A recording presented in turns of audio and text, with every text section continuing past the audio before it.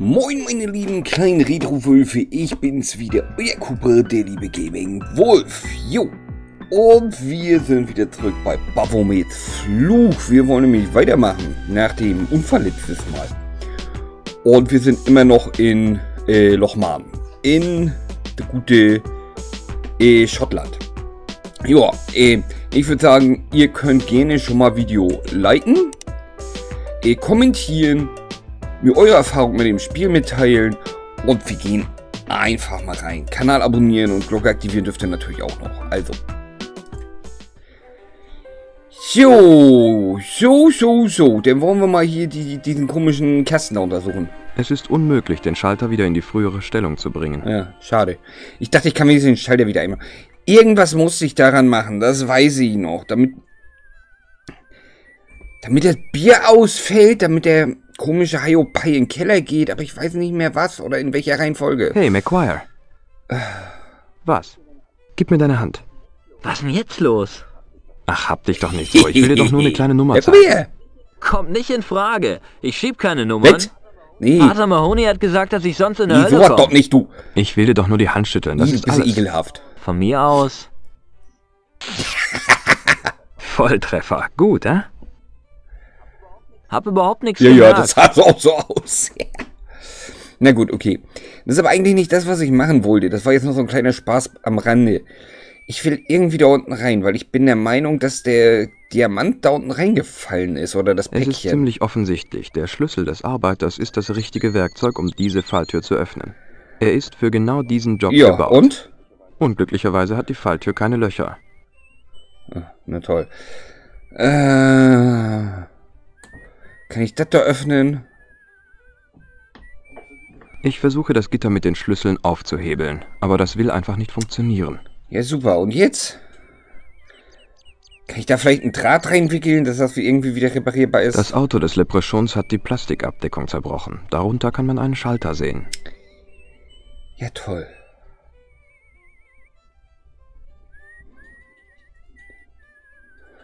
Ja, natürlich bringt es nichts. Och, Mann. Es ist schon so lange her.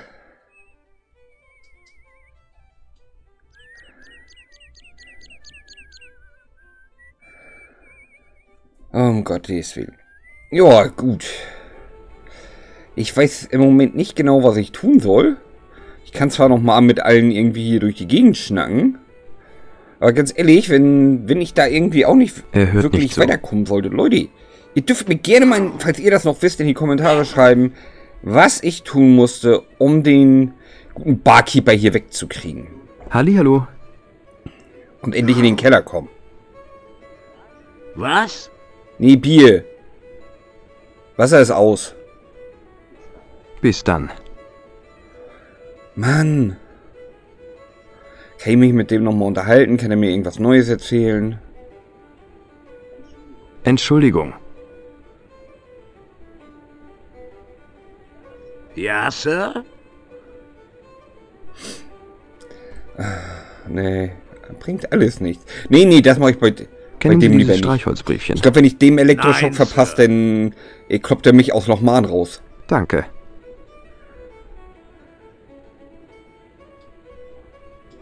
Der Mann hat seinen Arm über das Handtuch gelegt. Unmöglich Was, ist was erzählst du für Stuss, George? Der hat seinen Arm gerade oben. Na los, komm. Na, diesmal geht's doch, Als endlich. der Mann den Arm hebt, um zu trinken, kralle ich mir das Handtuch. So ein Mumpitz, ey. So, und was kann ich jetzt mit dem Handtuch machen? Kann ich das mit irgendwas kombinieren? Hm, auf gar keinen Ja. Fall.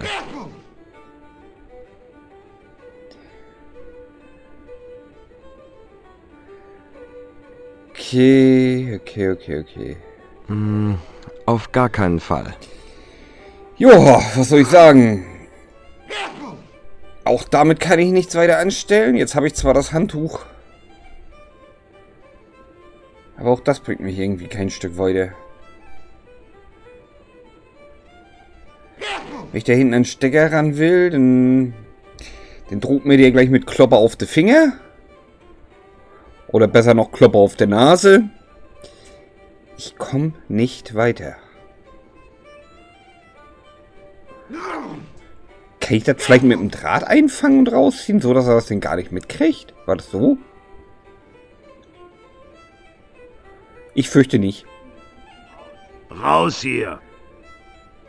Jo, soll ich doch. Na gut, dann hau ich eben ab. Vielleicht kann ich noch irgendwas anderes machen. Ja. Yeah. Mann.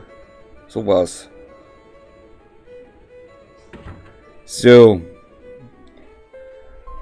Ja, mit dem mit der Bengel brauche ich mich eigentlich auch nicht weiter unterhalten, oder? Kann ich damit vielleicht irgendwie äh, Gitter aufbrechen, verbiegen? Nö. Geht auch nicht. Weiß zwar nicht, wieso ich ausgerechnet mit einem komischen Lappen oder Handtuch da äh, so einen Kasten reparieren können sollte, aber ich dachte, ich versuch's wenigstens mal.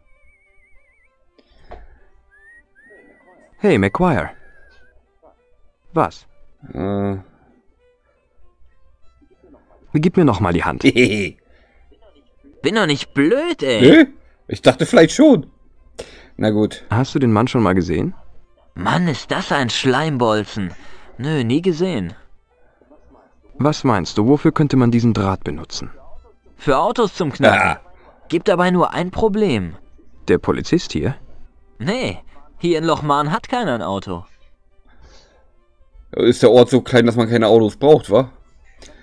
Was meinst du, wofür könnte man... Für Autos zum Knacken. Okay. Bis später. Gut, dann Okay, Mister.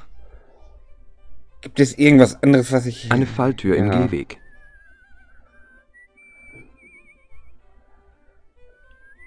Wenn ich damit Autos knacken kann, wieso kann ich damit nicht solche Schlösser knacken, damit ich das aufkriege?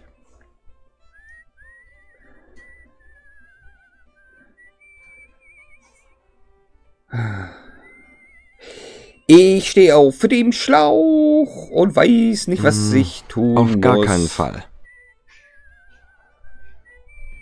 Hm, auf gar Nö, keinen will er Fall. nicht. Ja. Will McQuire vielleicht meine Pappnase haben? Ich Hey, meine, Mandy ist ja doch selber eine Pappnase, also von daher. Was? Hast du schon mal jemand gesehen, der sowas getragen hat? Das gehört dem Killer-Clown, den Sie suchen. Scharf erkannt. Kann ich sie haben? Sorry, muss ich als Beweisstück behalten. Da sollten Sie mal ein paar Tests mitmachen lassen, Mister. Dann könnten Sie einen Mörder mit seinem Rotz überführen. Äh, danke, nein. Eigentlich gar keine so dumme Idee. Aber ich habe leider keinen Zugriff auf irgendwelche Labors. Ich tue nur so, als wenn ich Polizist wäre. Ich tue nur so, als wenn ich äh, irgendwie. Was war, was war George nochmal? Der war ja irgendwas mit Versicherung, ne? Entschuldigung. Ja, Sir? Darf ich mir das Handtuch ausborgen? Klar können Sie, unter einer Bedingung. Und welche? Lassen Sie den alten Ron nicht in seine Nähe. Wer ist Ron? Der Typ da drüben in der Ecke. Mit dem Hygieneproblem. Okay. Danke. Er meint, meinte den mit der Rotznase da?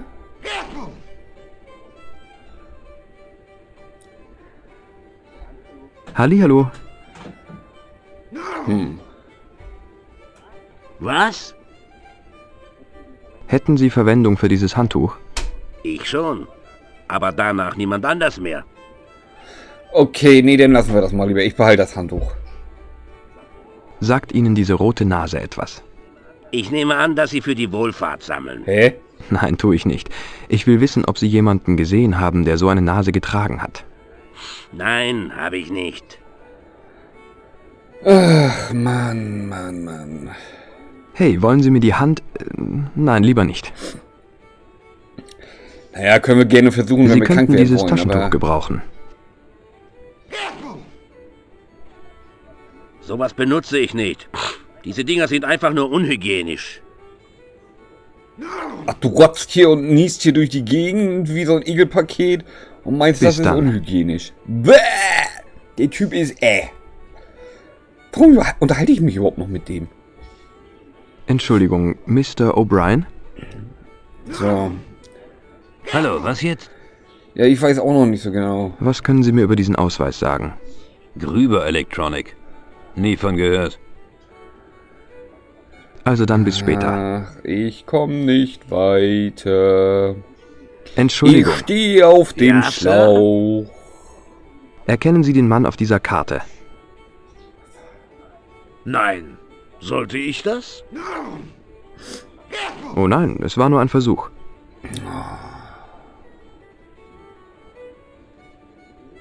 Sind Sie sicher, dass Sie diesen Mann nie... Ich hab's Ihnen doch schon mal gesagt. Nein. Hey, hey, hey. Danke. Ich glaube, ich fange hier an, allen möglichen Leuten auf den Hey. Sack zu gehen. Und hallo, Mister. Sagt Ihnen dieser Ausweis etwas? Ähm. Tja. Nein. Wie konnte ich auch nur erwarten, dass ich von Dann dem irgendwas Sinnvolles erfahre? Oh. Wirklich? Soll ich mich nochmal mit dem da unterhalten? Ja. Hallihallo. Ey, Sobald ich äh, Lochmann verlasse, kriege ich doch mit Sicherheit innerhalb von drei Tagen die Maul- und Klauenseuche wegen dem da. Was? Werfen Sie doch mal einen Blick auf diesen Ausweis. Mal sehen. Oh ja, kleines Plastikbild. Ich nehme an, dass es Ihnen nichts sagt, oder?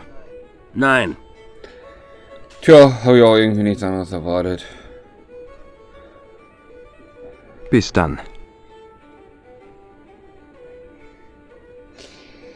Äh, Versuche ich sonst mal schon mal zum Schloss zu gehen, aber eigentlich...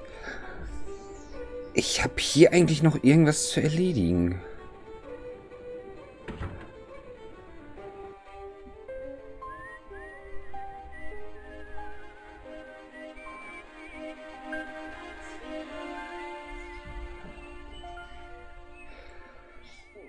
Hey, McGuire.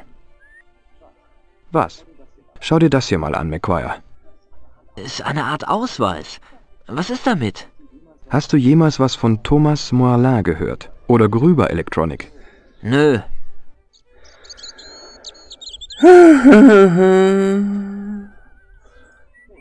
Hey, McGuire. Ah, Davon wird er wahrscheinlich auch nichts wissen. Was? Kennst du das Streichholzbriefchen, McGuire? Nö. Nie im Leben gesehen.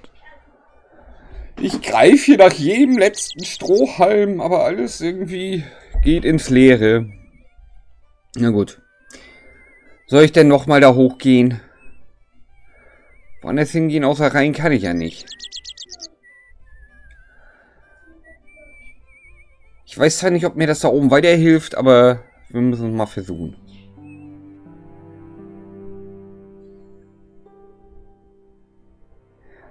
Hi. Sprechen Sie Englisch? Und was ist, wenn ich Nein sage? Die Implikation von Erkennung verschleiert in Negierung. Eine sehr schöne Approximation eines Paradoxon, muss man wirklich sagen. Ich bedenke ihn mit dem Blick, den ich perfektioniert habe, als ich zwölf war und der größte Hypnotiseur aller Zeiten werden wollte. Der Blick ist ein Killer. Versuchen Sie, mich zu hypnotisieren oder leiden Sie an Verstopfung. Nur dumm, dass ich außer Übung bin. Ey, der Typ ist... Haben Sie Dr. Pegram gesehen? Was Nein, ist das für ein Vogel? er hat gepackt und ist verschwunden. Wissen Sie wohin? Zurück nach England, nehme ich an. Was will er da? Glauben Sie, dass Pegrams Verschwinden mit dem Fluch zu tun hat? Schauen wir uns die Tatsachen doch mal an. Er hat den Edelstein ausgegraben, er ist verschwunden. Bingo. Man braucht keinen Abschluss in Mathematik, um sich das auszurechnen, oder? Nö. Man muss kein schlauer Pythagoras mit einem Taschenrechner sein. Vermutlich nicht. Bigram ist mit dem Edelstein abgehauen. Ja, Haben Sie vielleicht. einen roten Sportwagen die Straße runterkommen sehen? Ich habe einen roten Blitz gesehen und den Krach gehört. War ein furchtbares Geräusch. Ein Sportwagen, sagen Ja, ja. Sie? Ein Ferrari, um genau zu sein. Ein Rennwagen. Und was macht er hier? Äh, Der arme Kerl hat sich bestimmt Leute über den. Haufen fahren. Und entführen. Der Fahrer des Ferraris hat einen Unfall verursacht. Ach ja? Ja, yeah, er hat jemanden vor der Bar umgefahren. Was für ein Idiot. Wie konnte sowas passieren? Er war zu schnell. So schnell, dass er direkt unter das Auto gerannt ist? Ich meinte, das Auto war zu schnell. Der Idiot hätte das Auto doch wenigstens hören müssen. Vielleicht kennen Sie ja den Mann, der vom Ferrari angefahren wurde. Er heißt Sean Fitzgerald. Oh, den kenne ich wohl. Das ist mein Neffe, der Idiot, der meinen Heuwagen beladen hat. Hat ihn das Auto voll erwischt? Ja, Nein, voll. anscheinend war er nicht verletzt, aber er Ja, ja, wurde dumm. entführt. Ah, Das ist ja eine Erleichterung. Wollen Sie Ihren Neffen nicht suchen? Wozu? Nach dem, was Sie erzählen, ist es eh zu spät. Hä? Sie könnten die Sache Was? der Polizei melden. Lieber nicht. Und überhaupt, was sollen die denn dabei tun? Sie könnten eine Suche organisieren. Die beiden haben zusammen mal gerade ein Fahrrad. In Sachen bessere Beschleunigung würde ich mein Geld jederzeit auf den Ferrari setzen. In was für Hinterwelt Ich hat doch denke, Sie ich sollten gelandet? wissen, in was Sean hineingeschlittert ist. Ich bin nicht sicher, ob ich's wissen will. Aber Sie sind sein Onkel, sein eigen Fleisch und Blut. Sie haben ja recht. Aber was soll ich machen? Wenn ich den Heuhaufen hier nicht bewache, kommt vielleicht so ein Idiot und versucht hinaufzuklettern. keine Sorge, der Das Idiot ist ein schon da. schreckliches moralisches Dilemma. Hier bleiben und diese potenziell tödliche landwirtschaftliche Konstruktion bewachen? Oder sich auf die Suche nach dem Superneffen zu machen, nach jenem Mann, der für genau diese Gefahr verantwortlich ist? Darüber muss man erst einmal nachdenken. Wieso? Da gibt es doch überhaupt kein Problem. Sie haben recht. Warum habe ich nicht gleich daran gedacht? Wir reißen den Heuhaufen einfach ab.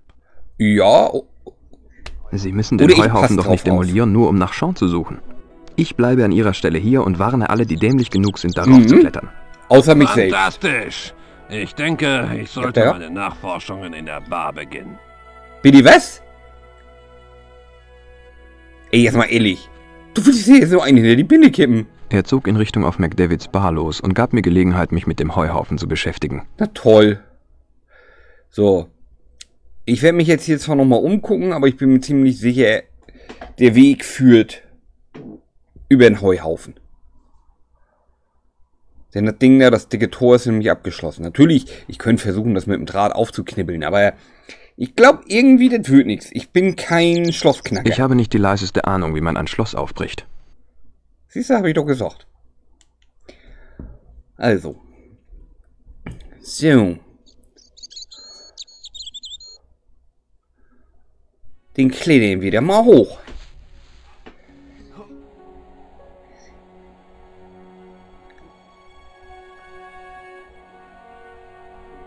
Der Stapel aus Heuballen reicht bis kurz unter den Rand der Mauer.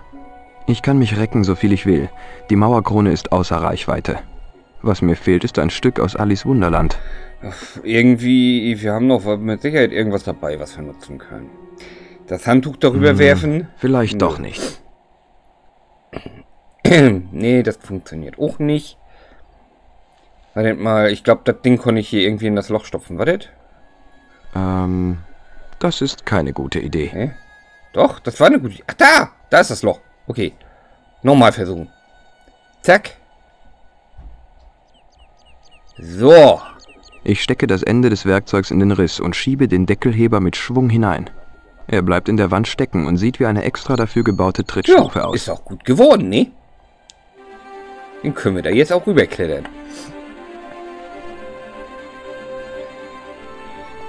So. Wenn ich mich nicht ganz täusche, gab es hier irgendwas komisches, was auf uns gewartet hat. Etwas Weißes. Mit Hörnern. Eine Ziege. Eine fiese Ziege. Irgendwas musste ich da hinten mit dem Ding machen. Aber ich weiß nicht mehr genau, wie das ging.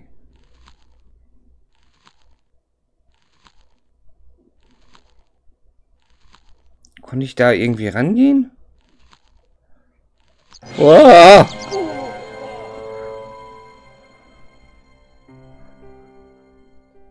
Wartet mal. Nee, oh, ich weiß nicht mehr, wie viel. Okay, jetzt komme ich bei dem hier mit Ziege auch nicht weiter. Ich, ich weiß, dass ich irgendwie eine Sache machen musste und dann die andere Sache schnell hintereinander. Aber was war das nochmal? Muss ich den Draht dran machen? Nö. Autsch. Und schon wieder die fiese, die fiese Ziege. Hab mich umgehauen. Das böse, böse Vieh.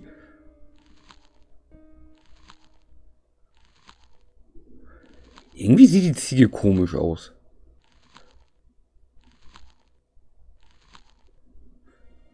Na gut, okay. Dann gehen wir hier mal wieder raus. Bringen uns aber auch nicht viel, oder? Wir müssen eigentlich da runter. Kann ich das wieder rausnehmen? Ich ruckele an dem Hebel und merke, dass er schön Na feststeckt. toll, jetzt hängt das Ding fest, für immer. Ich hoffe, das brauche ich nicht noch irgendwann nochmal. Na gut, dann gehen wir nochmal wieder rein.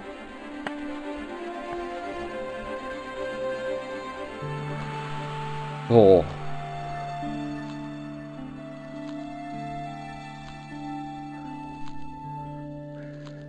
Ja, okay, da lässt er mich auch nicht hin. Ich mir schon wirklich fast gedacht. Ich meine, guckt euch die doch mal an. Die sieht schon so gemein und bösartig aus. Hey, Ziegenbart. Genau. Das Vieh fixiert mich mit einem bösartigen Blick. Ja. Hinter der Bosheit und der Wut ist eine kühle Intelligenz spürbar. Wie geht's denn, mein Junge? Ich fühle mich mindestens so bedroht wie damals von dem Mörder und seinen Schlägertypen in Paris. Okay. Ich meine, ich kann ja mal versuchen, die Hufe zu schütteln mit, mit, mit dem Elektroschocker. Hätte vielleicht eine W- Wirkung. Obwohl, da die bei Menschen schon keinen richtigen Schaden anrichtet, ouch, äh, würde die, die Ziege wahrscheinlich nur noch wütender machen. Und das wollen wir eigentlich auch nicht, oder? Nö, ganz klar. Ich mache hier jetzt erstmal eine kleine Schlussstrich für heute. Das sollte es gewesen sein. Wie schon gesagt, ihr könnt mir gerne mal in die Kommentare schreiben, wie ich jetzt in der Bar weiterkomme. Da war ja irgendwas noch zu machen, weil ich muss in den Keller. Da finde ich nämlich den Edelstein, das weiß ich. Und äh, wie ich die Ziege austrickse. Vielleicht wisst ihr das noch auswendig. Äh, sonst muss ich noch weiter rumprobieren. Ich hoffe auf jeden Fall, euch hat heute wieder gefallen. Wenn ja, gerne positive Bewertung da lassen. Äh, Kanal noch abonnieren, Glocke aktivieren und dann sehen wir uns beim nächsten Mal wieder. Also, ich wünsche euch was. Au! Bye bye.